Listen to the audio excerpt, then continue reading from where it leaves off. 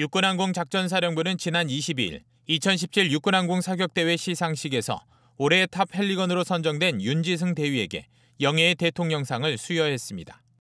주간용어 돋보기 오늘은 Top Heligun에 대해 알아보겠습니다. Top Heligun은 영어로 top과 헬리콥터, gun의 합성어로 육군항공의 공격 헬기 조종사 중 최우수 사수를 말하는데요.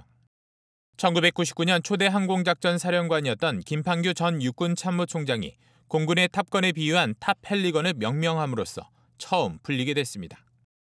육군항공작전사령부는 전투 헬기 조종사의 전투 기량과 명예심을 높이기 위해 매년 한번 육군항공 사격 대회를 열어 최우수 전투 헬기 조종사를 선발해 시상하고 있는데요. 1999년 추교식 준위를 시작으로 지금까지 19명의 Top Heligun들을 배출했습니다.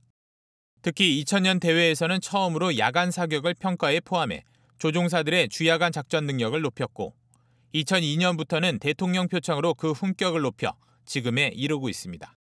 Top Heligun은 각 항공대대에서 선발된 정예 조종사들이 한 자리에 모여 겨루는 육군 항공 사격 대회를 통해 엄선되는데요. 대회는 AH-1S 코브라 헬기와 500MD 공격 헬기 부대의 최정예 조종사와 사수가 각 한 팀을 이뤄 TOW 미사일과 2.75인치 로켓, 20mm, 7.62mm 기관총의 주야간 공대지, 공대공 사격을 실시해 우열을 가립니다. 사격은 토우 미사일의 경우 주야 제자리 비행으로 표적에 한 발씩 사격하며 2.75인치 로켓은 제자리 비행과 전진 비행 등 모두 100발을 사격합니다. 기관총 사격은 주간에는 제자리 비행과 전진 비행, 야간에는 제자리 비행으로 공대지, 공대공 사격을 실시하는데요.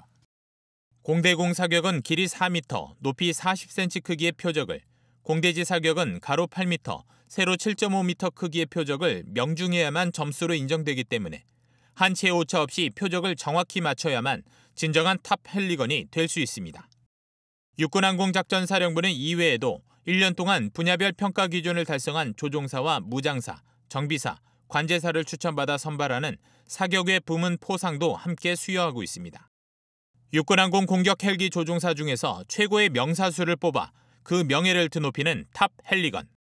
전장을 지배하는 지상공 공세기동의 핵심 전력인 전투 헬기의 조종사로서 적의 어떠한 도발도 한 치 오차 없이 격멸할 수 있는 우리 군의 자랑스런 전사입니다.